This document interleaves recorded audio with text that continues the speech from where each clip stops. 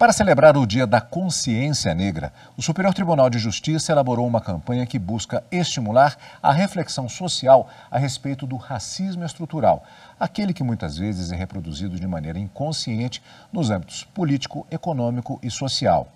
O conteúdo, gravado com o apoio de atores convidados, conta histórias reais o vídeo faz parte do compromisso do Tribunal da Cidadania com a inclusão, a redução das desigualdades e o combate a qualquer tipo de preconceito.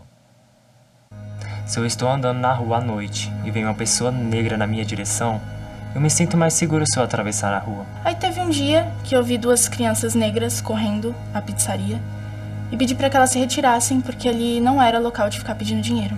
Elas tinham o cabelo ruim, sabe? Então eu tive que chamar e pedir que ela é, penteasse e prendesse o cabelo.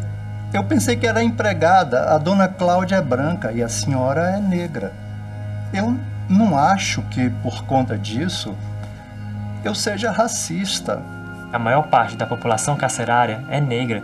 Isso é estatística, não é racismo. Mas não foi por mal. Não foi racismo. Eu só estava cumprindo ordens.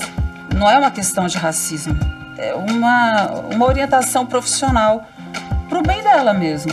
Eu nunca xinguei uma pessoa negra.